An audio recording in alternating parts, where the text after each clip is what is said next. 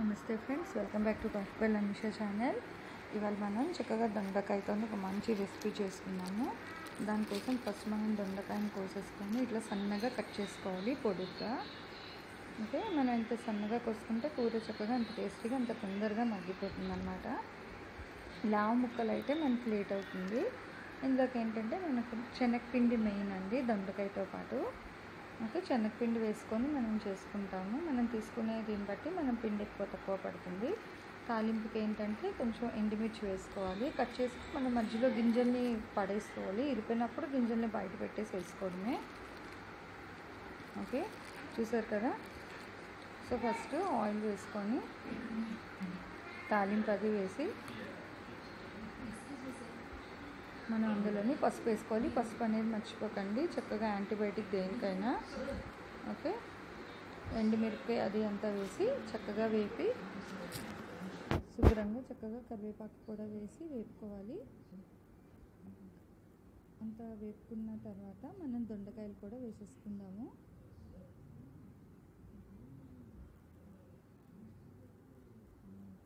దొండకాయ అది వేసి మొత్తం అన్ని అన్ని దొండకాయలు వేసుకొని కొంచెం ఉప్పు వేసి కలిపేసి కొంతసేపు మగ్గించుకోవాలి.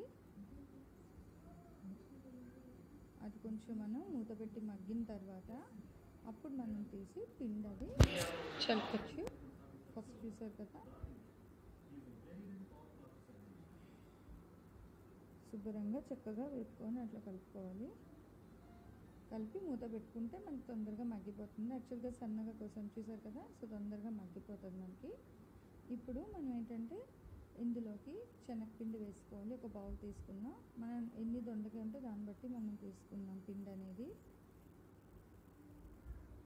సో అట్లా కొంచెం కొంచెం వేసుకుంటూ పిండి తర్వాత కారం దానికి తగినట్టుగా కొంచెం ఉప్పు వేసుకోవాలి. ఆల్రెడీ మనం ముందు ఉప్పు వేసుకున్నాం. సో అది కాకుండా కొంచెం సాల్ట్ వేసుకొని కలుపుకుంటూ ఉండాలన్నమాట చూసారు కదా అంటే ఇంకొంచెం పిండి పడుతుంది. సో ఇంకొంచెం పిండి వేసి మనం కలిపేసి ఒకసారి మూత పెట్టుకుంటే ఒక్క రెండు నిమిషాలు. పిండి వేగింది మనకు తెలుస్తుంది. కలర్ అనేది చేంజ్ అవుతుంది.